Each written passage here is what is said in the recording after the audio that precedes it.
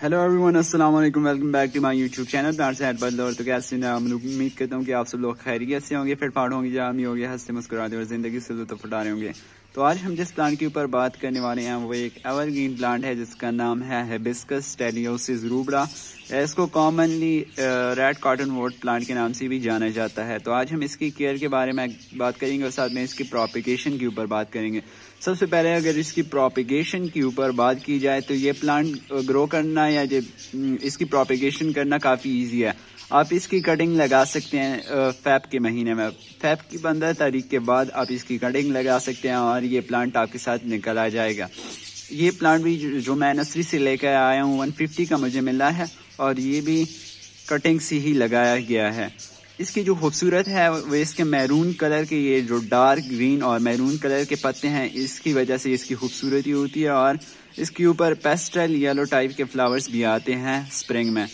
तो इसकी अगर केयर की बात की जाए तो इस, ये हर किस्म के सॉइल को टॉलरेट कर लेता है, चाहे वो सैंडी सॉइल हो, चाहे वो सॉल्टी सॉइल वो हर किस्म के सॉइल को टॉलरेट कर लेता है। और चाहे वो वेल ड्रेन सॉइल ना भी हो, आपके पास पुअर ड्रेन सॉइल हो तो उसमें भी टॉलरेट कर जाता है। लेकिन अगर आपने इसके लिए मट्टी प्रिपेयर करनी हो तो आप इसमें 80 परसेंट बालू मट्टी ले लें, जिसको हम सैंडी सॉइल कहते हैं या गार्डन सॉइल कहते हैं, और 20 परसेंट आप कावडंग ले लें, जिसको हम गोबर की गाद कहते हैं, वो आप इसमें ऐड कर सकते हैं।